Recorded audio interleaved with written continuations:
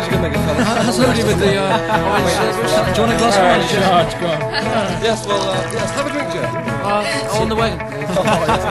Tony's not there. Ah, remember the time I landed on the shores? What's yours? I'll have a gin and orange, I There's no chance of a bit of orange juice there.